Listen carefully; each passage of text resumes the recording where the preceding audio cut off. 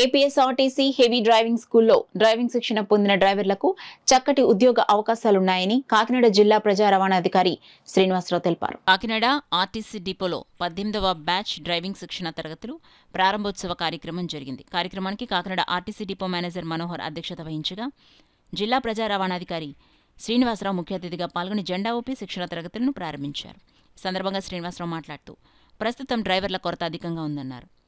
APSRTC heavy driving స్కూల్లో శిక్షణ పొందిన డ్రైవర్లకు దేశ విదేశాలలో చక్కటి ఉద్యోగ అవకాశాలున్నాయన్నారు.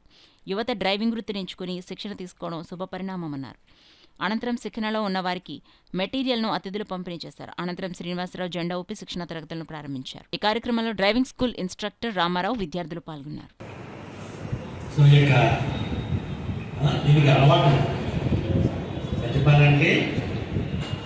అలవాటు సెల్ ఫోన్ డ్రైవింగ్ ఎలాంటి చేయకూడదు. ఆ? శుభ్రంగా రోజుకి ఆరు గంటలకి ఏడు ఎనిమిది గంటలు ఏడు గంటలు నిద్రపోవాలి. రోజు ఆరు నుంచి ఏడు గంటలు నిద్రపోవాలి. నిద్రపోకపోతే డ్రైవింగ్ గురించి మనం చేయలేం. చేయగలమా ఇప్పుడు నిద్రపోకపోతే ఆరోగ్యం పాడైపోతుంది కదా.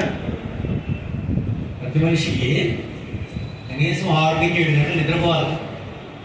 ముఖ్యంగా డ్రైవర్ ఖచ్చితంగా నిద్రపోతాం అంతేగాని మనం నిద్రపోకుండా రాత్రులు లేట్ అవర్స్ వరకు ఆ టీవీలో యూట్యూబ్లో అవన్నీ చూసుకుంటూ కాలక్షేపం చేశామంటే డ్యూటీకి నిద్రపోతుంటే ఎక్కేవారు వరకు నీకు మరి దృష్టి డ్రైవింగ్ మీద కాన్సన్ట్రేట్ చేయలేం కాబట్టి ప్రమాదం జరుగుతుంది అవునా?